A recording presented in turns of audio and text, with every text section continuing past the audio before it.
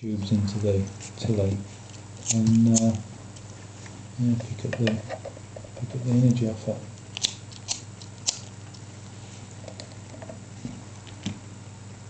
So that's starting to heat, so it'll turn over.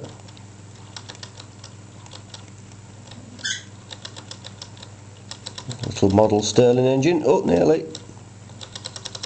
There we go.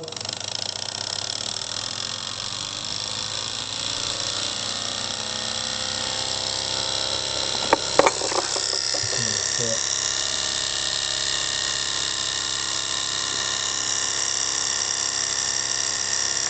this is the power takeoff point. For running something like a computer fan